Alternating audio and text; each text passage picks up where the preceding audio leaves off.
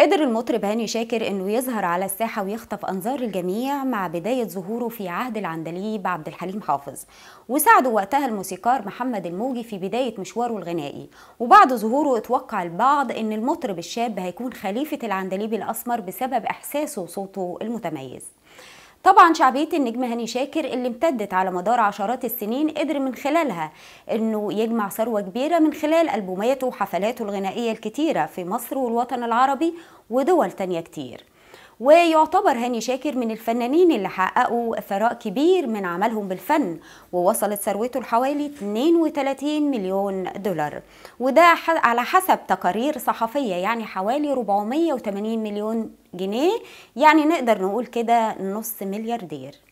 مع ثروته الكبيرة دي قدر الفنان هاني شاكر إنه يحصل على جواز سفر دولة الكاريبي عن طريق الاستثمار وبالفعل اتقدم بطلب للحصول على الجنسية الكاريبية. طب إيه اللي خلي هاني شاكر يدور على جنسية تانية غير المصرية خاصة إنه بيشغل حاليا منصب نقيب الموسيقيين في مصر؟ الإجابة بسيطة وهي الاستثمار فواضح كده إنه حب يزود فلوسه ويدخل مجال الاستثمار في المنتجات السياحية واللي بتتشهر بيها دولة الكاريبي. وكانت إحدى الشركات المتخصصة في منح جوازات السفر نشرت فيديو بيظهر فيه هاني شاكر وهو بينهي إجراءات حصوله على الجواز واللي بتتراوح تكلفته ما بين 100 100 إلى 150 ألف دولار. لكن الخبر ده اتسبب في صدمة لكل جمهور على وسائل ال social media. كونه قيمة كبيرة وبيترأس نقابة المهن الموسيقية وجات أكتر الانتقادات فيما يخص استثماره خارج مصر وقالوا ليه مش بيستثمر هاني شاكر فلوسه جوه وطنه.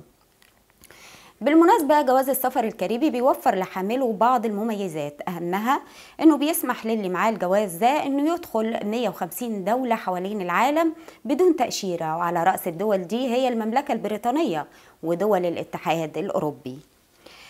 كمان مش بيتطلب امتلاك جواز السفر الكاريبي بغرض الاستثمار أي مؤهلات لحامله أو أي اختبارات خاصة باللغة أو مقابلات كما بيضمن له إنه بيعيش بصورة قانونية في دول الكاريبي.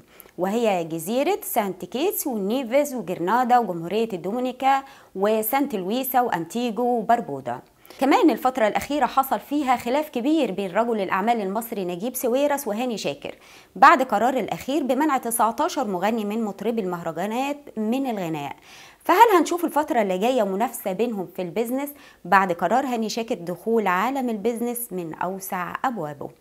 على فكرة هاني شاكر مطرب مصري مواليد القاهرة في سنة 1952 واتشهر بلقب أمير الغناء العربي ودرس الموسيقى في معهد الكونسرفتوار حتى الإعدادية واشترك خلال الفترة دي في برامج الأطفال في التلفزيون. وبدأ هاني شاكر حياته الفنية من صغره وكان أول دخول ليه في عالم الفن في فيلم سيد درويش.